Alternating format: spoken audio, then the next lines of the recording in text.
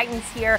Uh, three and five Broncos going against the five and three Titans. Look, the biggest question are we going to see Ryan Tannehill? Uh, they could have used him definitely that last game. Uh, Malik Willis getting a lot of heat in this one. The Titans still favored uh, by three in this. Does it make a difference who's starting for you? I mean, you'd like your quarterback to throw more than five passes in a game. I mean, that would help, no matter who it is. But uh, they are a tough physical team, the Titans, and, and they responded even without their starting quarterback. That tells you how good of a coach Mike Vrabel is. They're physical. They're going to be physical here. They're getting better on defense. Denver's offense is awful. We know that. They're terrible on offense.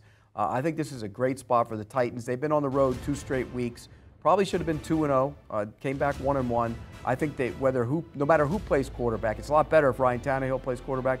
No matter who plays quarterback, they find a way to win this game. I'll lay the points.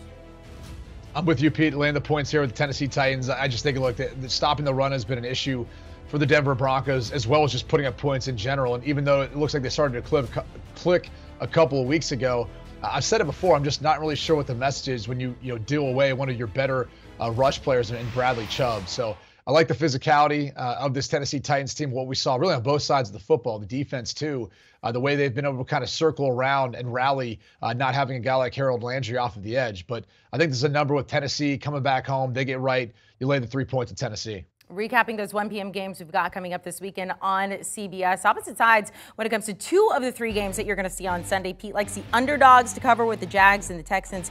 Brady going with the favorites in that game, but both agree the Titans should easily cover the three at home, regardless if we see Tannehill or Malik Willis.